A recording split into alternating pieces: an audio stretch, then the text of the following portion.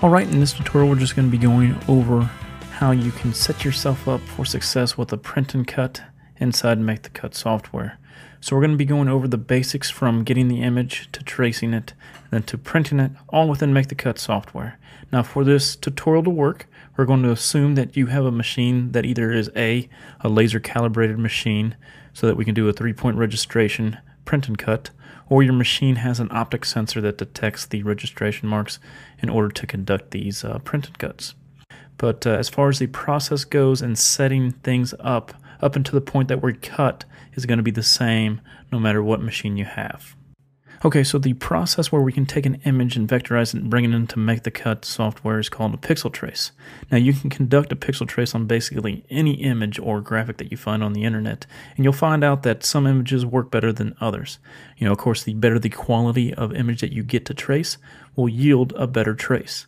Now I'm going to go ahead and use one of our ScrappyDew images from our ScrappyDew library called the Konichiwa dolls. And I'd actually like you to follow along as well in this tutorial as it will serve as good practice for you and you'll get a better feel for when you try this on one of your own images that you find. So with that said, I'm making this as a free download and the instructions on the download will be in the description box. So we have our image that we would like to cut, so now it's time to trace the image and make the cut. Alright, the pixel trace button is located at the top of the screen here, and if you do not see that icon, you can go ahead and go to the view menu and select the import toolbar option. Once we select the pixel trace button, a new window will, will, appear, and this is where we can navigate to our file that we would like to trace. And in the, this example, we're going to go ahead and select the paper dolls, and uh, MTC has a nice little preview window over there on the right-hand side, and I'm going to go ahead and click the open button.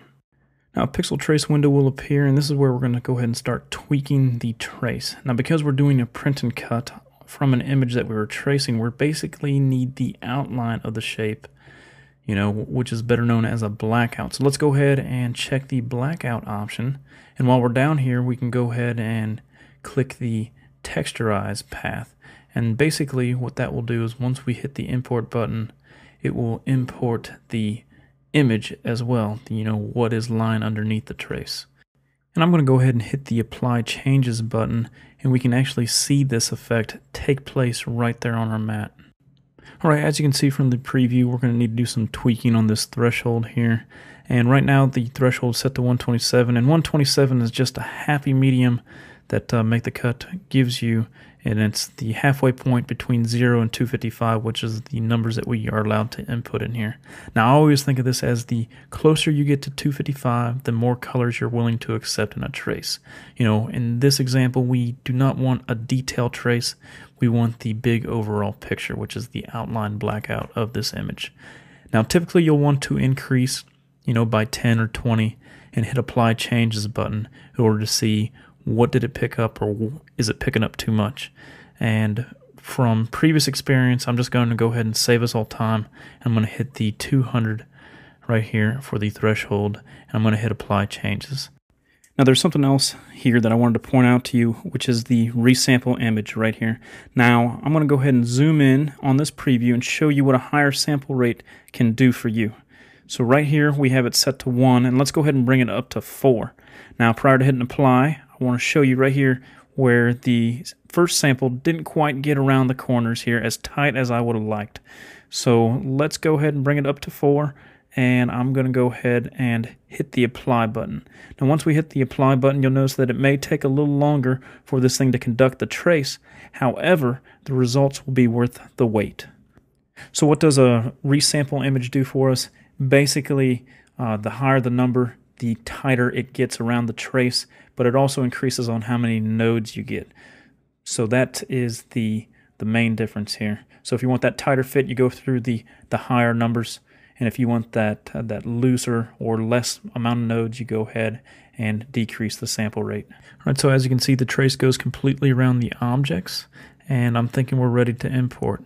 Now, once you hit the import button, a new menu will appear. It'll ask you if you'd like to do another trace. Uh, in addition to this one, I'm going to go ahead and select no. All right, so now that we have the dolls on our mat, I'd like to take a brief moment and talk about some things you can and cannot do um, with a texture item that you've traced. Now you can move, you can split your texture. You know, if you're wanting to resize, you can do that too. you know, you just have to hold the shift button down while you resize with the handles that are in the corners. Now with that said, you cannot rotate the item. Now if you're actually needing an image to be rotated, you're going to have to go into a graphical editing program and you're going to have to rotate it in there, save it, and then retrace in order for this to work because Make the Cut uh, cannot handle rotation.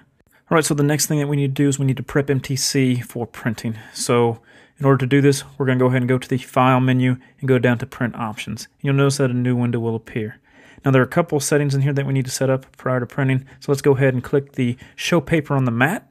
Let's go ahead and click the Print Registration Marks. And I'm going to go ahead and keep the, the option checked that where it says Show Registration Marks on the mat.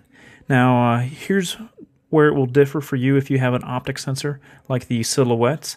You know, for those machines, uh, you'll see the little drop down option for the SD as well as the Cameo. Now, since we're going to be using the laser option rather than the the uh, optic sensor, we're just going to go ahead and stick with the make the cut registration marks. Now, this is all we need in this menu in order to prep us for printing. So I'm going to go ahead and hit the OK button.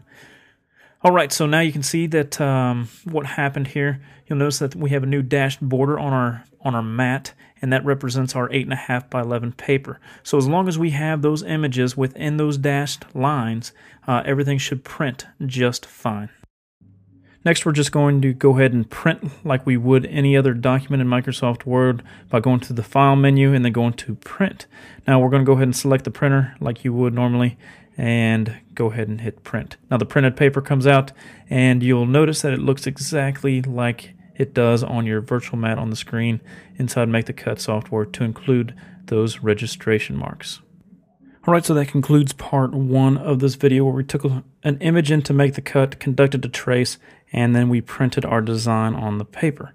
Now because the next step is cutter specific, we're going to go ahead and end this video and we'll make a part two showing you how we actually use the registration marks in order to cut using the print and cut method. So with that, I'm Rob with ScrappyDew.com and stay tuned for part two.